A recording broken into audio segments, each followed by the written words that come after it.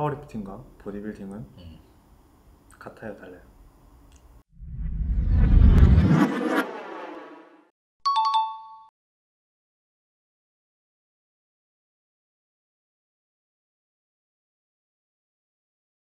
선생님 그 네. 선생님 영상 중에 네. 그런 게 있잖아요. 네. 고립은 없다. 네. 그 영상을 보고 제가 네. 약간 궁금한 건데 음. 그런 고립이 없다라는 주의면 네. 파워리프팅과 보디빌딩은 같은 거예요? 어, 그건 아니죠. 어떻게 다른 거예요? 그 영상에 관한 거는 네. 이제 고립이라는 단어에 사로잡혀서 음, 이제 요즘 이제 고립이라는 단어가 좀 유행이잖아. 그쵸. 그래서 사람들이 협응의 협응과 기량에 대해서 그냥 완전히 무시를 해버리고 음, 보조근이 개입되는 자체를 약간 잘못된 운동 방법이라고 생각하는 경우가 많아. 음, 주동근만 이제 잘 들어가게끔 보조랑 기량을 잘 활용을 해야 되는데 그거를 싹 다 배제해버리고 그 자체를 나쁜 행위로 치부해버리니까 네. 그게 아니다라는 이제 의미에서 만든 영상이고 없다라는 네. 뜻이었고. 그러니까 정확히 말하면은 사람들이 말하는 그 고립이라는 단어는 여러분들 관점에서 이해를 하실 때 주동근만을 가장 효율적으로 음, 이제 최대한 높은 비중으로 사용을 하는 자세 이렇게 이해하시면 좋을 것 같아요. 근데 고립이고. 이렇게 단어를 말하면 너무 기니까 그냥 듣기 좋으라고 고립하는 고립, 거지. 네. 그러면 이제 네. 그 선생님이 생각하는 그 보디빌딩 운동과 네. 파워리프터들이 하는 파워리프팅 음, 운동은 음. 어떻게 좀 차이가 있어요? 파워리프팅 같은 경우는 중량 자체가 이제 목적이시겠죠. 네. 높은 중량을 들기 위한 자세가 적용이 되는 거고 우리 같은 경우는 주동근의 데미지를 이제 크게 주기 위해서 우리만의 또 자세가 있을 거 아니야. 그 자세로 이제 과부하를 올리기 위한 수단으로만 이제 사용되는 것이군요. 음, 근데 또 사람들이 운동을 하시다 보면은 어, 가장 본인한테 약간 느낌이나 자극이나 펌핑이 잘 오는 무게가 있을 거 아니에요. 그렇죠. 보편적으로 근성장, 근비대의 약 가장 좋은 횟수가 뭐 8에서 12, 8에서 음. 15회. 이게 가장 저 같은 경우도 운동이 가장 잘 되고 어, 실질적으로 펌핑감도 제일 좋아요. 근데 이 중량이 어쨌든 그 수행 능력이 늘어야 근비대가 일어날 거 아니에요. 그렇죠. 근데 이 8에서 15회의 중량이 늘려면은 빠른 시간 내에 좀 늘려면은 파워리프팅식 훈련도 필요해요. 음, 요즘 사람들이 너무 느낌, 느낌, 고립 네. 이 단어에만 치중을 해서 네. 솔직히 말해서 벤치 빈봉도 막 딸딸거리시는 분들이 막 음. 고립 느낌 한다면서 막 이러고 있는데 음, 아, 제 개인적인 생각인데 음. 그 고립이라는 단어 자체는 오히려 중급자 이상이라는 이제 음, 약간 레벨 반열에 들어가고 나서 쓰는 게 맞지 않나 싶어. 음, 오히려 초심자 때는 가장 기초적인 그 동작의 숙련도나 운동 수행 능력에 집중을 하시는 게 좋을 것 같아. 음, 그럼 선생님 얘기를 약간 듣다 보니까 음. 결국에는 보디빌딩은 어쨌든 이 무게를 조금 그치. 느끼는 트레이닝이라면 음. 파워리프팅은 음, 그냥 진짜 그쵸. 드는 트레이닝이네요. 네, 중량 그 자체가 이제 그 운동의 목적이니까. 그럼 이걸 조금 더 과하게 얘기하면 음. 파워리프팅 무지성으로 드는 거고 보디빌딩은 아, 무지성으로 드는 건 아니지. 아, 약간 생각하면서 아니지. 느끼면서 드는 거예요. 음.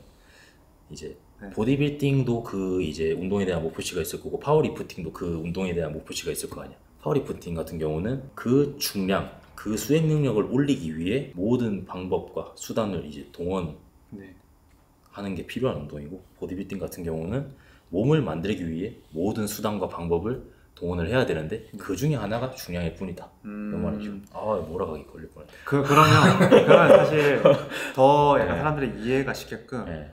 제가 처음에 쌤한테 PT를 받으러 갔을 때 네네. 어떤 걸 가장 많이 고쳐주려고 노력했어요? 템포. 이 얘기를 듣고 싶었어요. 템포. 네, 음. 이 얘기를 좀 해주세요. 음. 그러니까 제가 뭐- 뭐가 어떻고 이거를 어떤 식으로 좀 고쳐 나갔는지. 음, 리프팅 하시는 분들 같은 경우는 근육 긴장도보다는 중량을 리프팅하는 그 자체가 목적이기 때문에 이제 우리 관점에서 보면은 주동근의 지속적인 긴장 유지는 좀 떨어져요. 음. 그래서 가장 첫 번째로 했던 게 수축 구간에서 마무리가 될 때 여기서 긴장이 풀려버리는 거. 음. 왜냐하면 수축할 때 한 템포 쉬고 내려야 더 많은 중량과 횟수를 이제 수행을 할 수 있기 때문에 리프팅 하시는 분들이랑 이제 보디빌딩 트레이닝 하시는 분들이랑 가장 큰 차이점이 우선 템포랑 수축했을 때 마무리 구간에서 그 다음 지점에서 네거티브가 이제 얼마나 세밀하게 걸려서 음. 들어가느냐 그 차이인 것 같아요. 맞아요. 사실 제가 음. 쌤한테 처음 운동 배울 때 음. 너무 힘들었던 게 뭐냐면 첫 구간과 끝 구간 힘쓰는 법을 다르게 시키더라고요. 음. 그러니까 저는 첫 구간, 끝 구간을 음. 무조건 빵 치던가 음. 툭 놓던가 하는 이런 습관이 있는데 음, 맞아. 그 구간을 통제를 내가- 해버리니까, 네. 통제를 지켜버리니까 와 이거 막 너무 그러니까 너무 힘든 거예요. 네. 제가 중량 다루던 중량을 하나도 못 다루겠는 음. 거예요. 그래서 첫 구간 끝 구간을 그 나머지 구간에서 쓰는 힘처럼 쓰게끔 만들어주니까 음.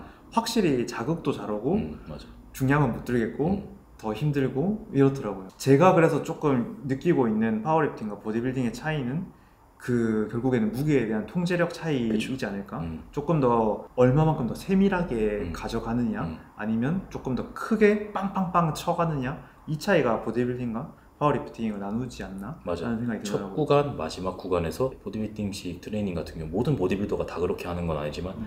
대다수 그냥 한 8, 90% 빌더 분들이 긴장 유지를 위해서 템포 조절을 약간씩 들어가는데 반해서 리프팅 같은 경우는 그냥 빵 쳐버리죠. 예. 빵 그 차이가 거. 일단 모든 운동 테- 템포 리듬에서 가장 커요. 음. 음. 근데 반대로 말하면 음. 그런 파워리프팅 훈련 방식이라고 네. 뭐 일컬어지는 음. 뭐 스쿼트, 벤치, 데드리프트 뭐 이런 운동들을 음.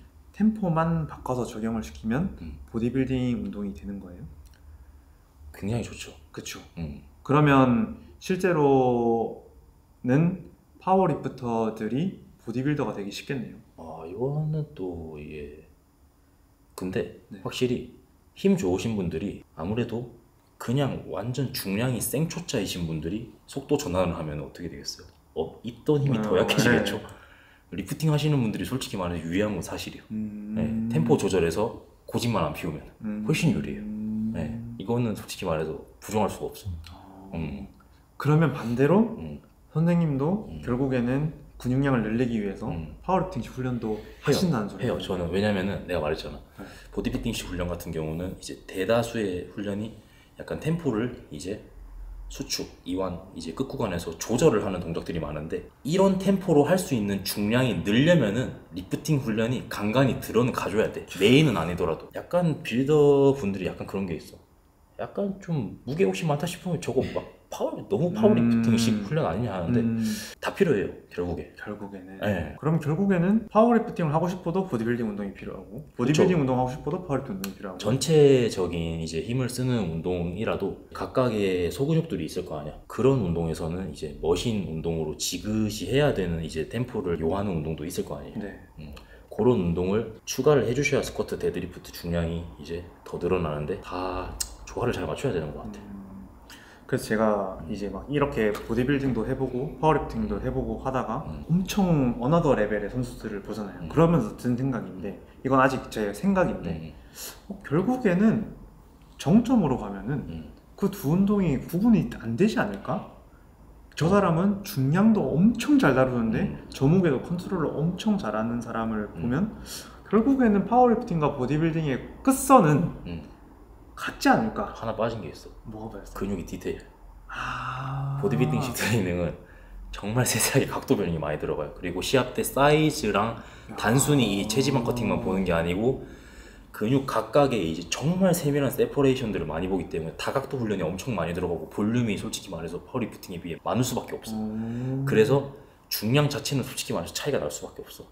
아, 그러니까 음. 가- 결국엔 같은 훈련을 한다고 하더라도 음. 파워리프터는 중량 훈련을 할때 음. 보디빌더들은 더 디테일하게 다른 훈련들을 많이 해야 네, 되기 그래서 때문에 일단 힘 많이 빼고 들어가잖아. 아, 그쵸 네.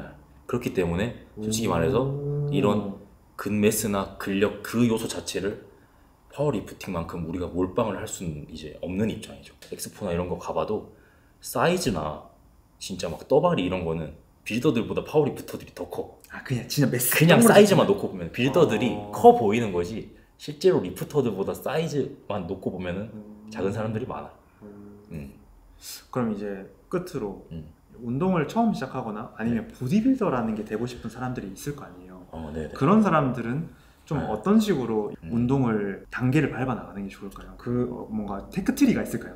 추천하는 tech tree? 음, 한 일주일에 6일 운동한다고 치면은 음, 저 같은 일주일에 경우는 3일, 같- 3일 같은 경우는 이제 무조건 바벨 운동 메인으로 약간 좀 템포를 빠르게 가져가는 식으로 하고 어, 약간 strength성이네요. 그쵸 그때는 이제 딴 걸 하더라도 이제 strength성 운동들을 다 끝내놓고 그 다음에 지긋한 템포로 넘어가요 그러면 음, 그 어쨌든 그날의 메인은 strength인데 음. 지긋한 보조도 가져가는 거고. 그쵸 그게 근데 지긋한 운동들이 메인이 될 수밖에 없는데 이날 같은 경우는 그게 첫 빠따로 들어가는 거지 음. 이게 메인.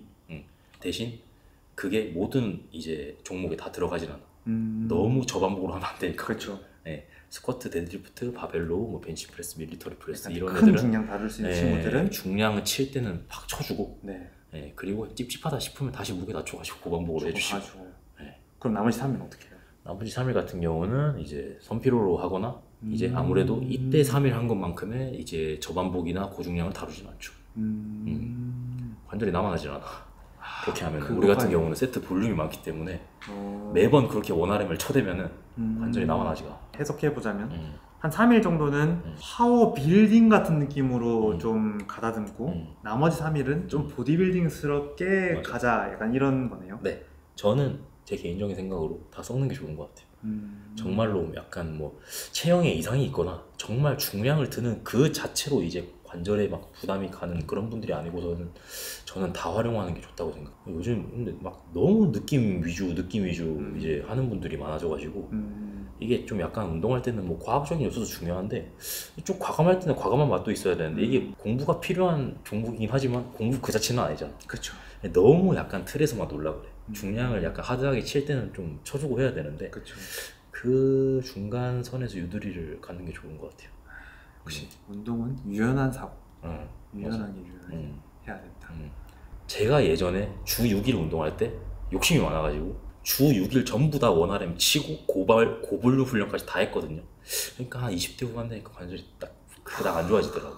그때부터 약간 빈- 빈도수 조정을 했죠. 음. 근데 빈도수 조정을 오히려 하니까 좀 더 중량이 더 잘 늘더라고 음. 오히려. 음. 사람들이 스쿼트 잘하려면 스쿼트만 해라. 턱걸이 음. 잘하려면 음. 턱걸이만 해라. 음. 이렇게 접근을 하시는데 그렇게 하시는 것보다는 스쿼트에 필요한 이제 보조근 운동들이 있을 거 아니야.